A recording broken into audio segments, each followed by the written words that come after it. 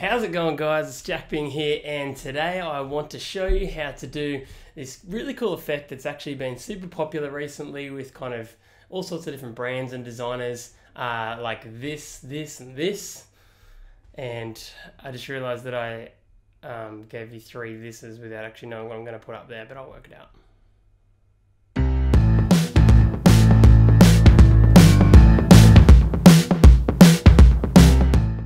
Firstly, I just want to say to you guys, I'm not sure if you can tell by hearing my voice or not, but uh, the reason you haven't seen me in a week or so is basically because I haven't been well and I'm recovering and by tomorrow or the day after I'll be top notch. So don't worry about me, but basically that's why it's been um, probably a tiny bit longer than it usually would have been between videos.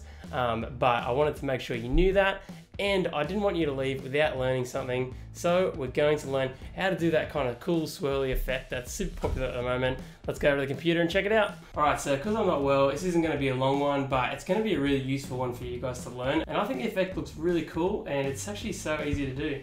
So I'll just get the text tool up. Um, I'm gonna just write Jack Bing. Uh, black would look better on white than white.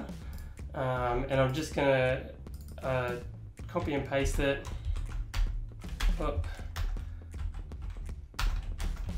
Maybe, what am I doing? Maybe, yeah, that many times that'll do.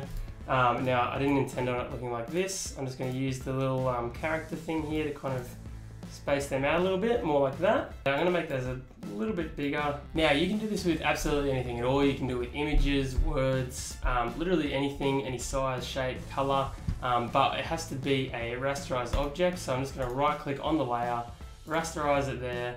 Now what we're going to do is go to filter and go to liquify and you get this screen where we've seen it before, we've used it on another video, um, but what you can basically do is manipulate your image into different kind of designs. So what I'm going to use up here is this push feature, oh, you can't see it, make this a bit smaller. You've got a couple of options on the side here, you've got size, pressure, density, rate. Uh, the main ones you want to look at is the size and the pressure. Um, this size is actually pretty good for this, for the effect that I'm going to try and go for.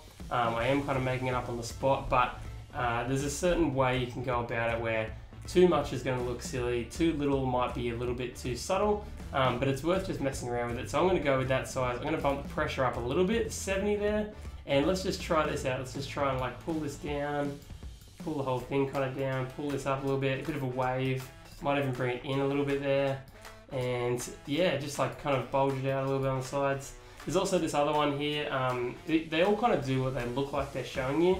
Um, this one here is like a clockwise twirl, and so if you make the size um, kind of similar size to your image, um, as you would expect, it kind of twirls it. So you just hold the mouse down, you just hold that click down, and it kind of twirls it around a little bit, which I think is super cool.